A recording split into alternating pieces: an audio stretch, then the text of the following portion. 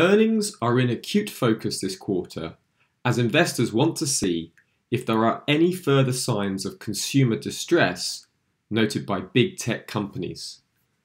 IBM earnings are due tomorrow on the Wednesday after the close.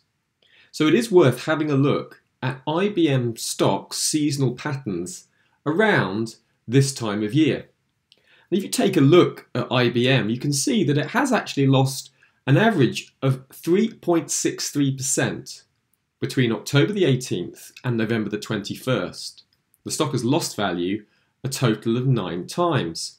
However, if you would like to contrast this with another PC giant, let's look at Microsoft stock over the same period.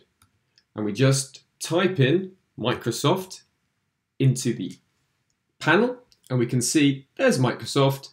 So let's have a look at the corporation and we can see that Microsoft tends to gain around the same period of the year where IBM tends to fall over earnings.